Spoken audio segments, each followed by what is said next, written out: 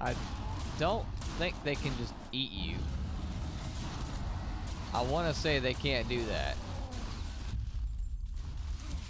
I feel like that'd be a little overpowered if they could just eat you.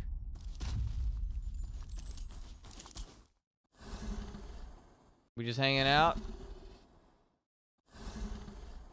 Just you and me? You ain't got any buddies? I don't think we're supposed to just hang out. I think we're supposed to be fighting each other.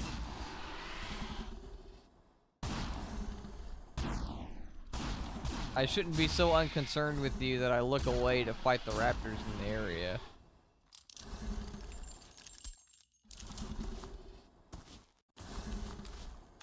Are you good? Are you stuck? What's going on with you?